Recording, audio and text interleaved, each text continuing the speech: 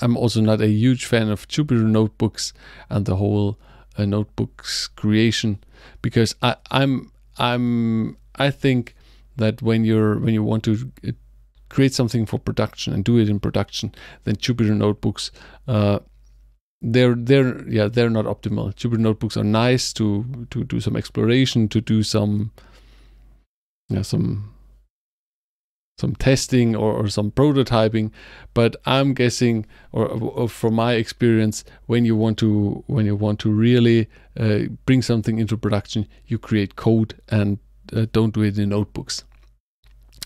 And so what they said here sorry. Um, so once you have a notebook,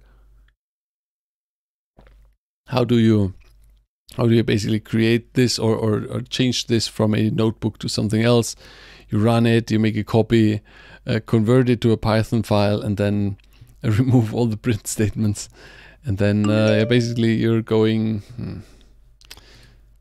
um, basically, you are uh, you're creating the whole the whole thing. You're writing unit tests make them pass, and then a cycle and refactoring cycle, and then uh, you test the whole thing. Uh, says, I teach uh, future data analysts and data. I'm guessing so. Uh, and they always do their stuff in notebooks. I force them to learn how to make real uh, PyApp. Yeah, because that's that's what that's exactly the thing most people think when you have when you when you can do stuff in notebooks um, you're ready for production. You're you're not ready for production. Because uh, really in production what you uh, handling notebooks isn't the isn't the way that you automate stuff. So it's good for data it's good for exploration for trying out things for uh, doing a a master's thesis or a phd or whatever. But if you want to run it in production and run it on on on the the systems that are that are available, then you will go and you will create a standalone script, Python or whatever or Scala.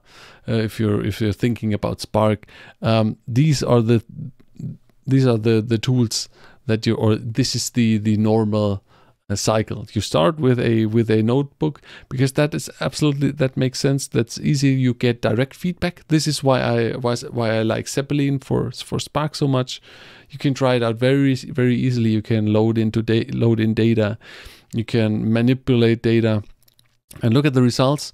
But if I, I would not use this in production, I mean maybe for a for a quick batch job to to uh, to uh, look into some or to explore some data and try some stuff out, but not not for thing.